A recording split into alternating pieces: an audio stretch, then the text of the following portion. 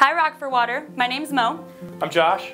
And we work here at Charity Water. And today is our fifth birthday. Um, in five years, we've been able to fund enough water projects around the world that can serve two million people with clean and safe drinking water. It's a lot of people. So we, uh, you know, enough about us. Yeah. It's our birthday today, but we really just wanted to take time to say thank you to you because we wouldn't be able to do the things that we get to do. We wouldn't be able to provide that clean water for people in need if we didn't have support from Rock for Water.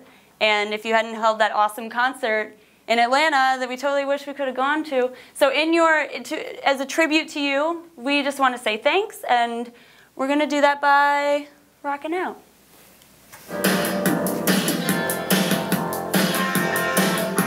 You gathered up your friends told the whole town of Atlanta.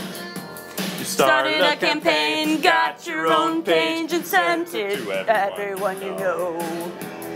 Organized a concert, six bands took the stage. Don't you remember? You built this well. You built a well on rock and roll. Built this well.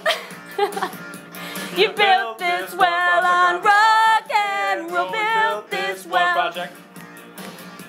You built this water project on rock and roll. Thank you so much, Rock Thank for Atlanta. you, rock and roll.